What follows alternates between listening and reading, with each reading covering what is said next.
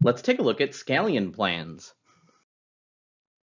Few would argue with the idea that one of the best ways of ensuring that employees are engaged and motivated is to ensure that by pursuing their goals, the worker pursues the employer goals as well.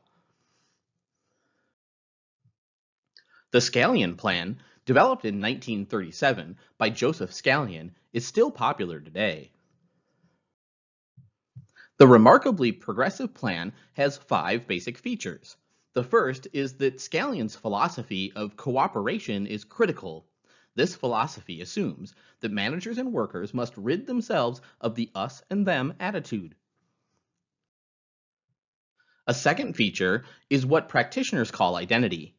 This means that in order to focus on employee involvement, the company must articulate its mission or purpose, and employees must understand how the business operates.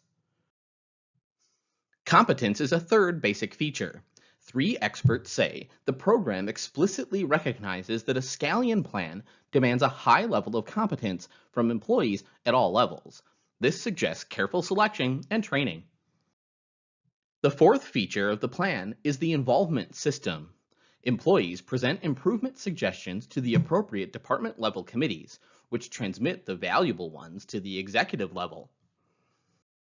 If a suggestion is implemented, all employees usually share in 75% of the savings.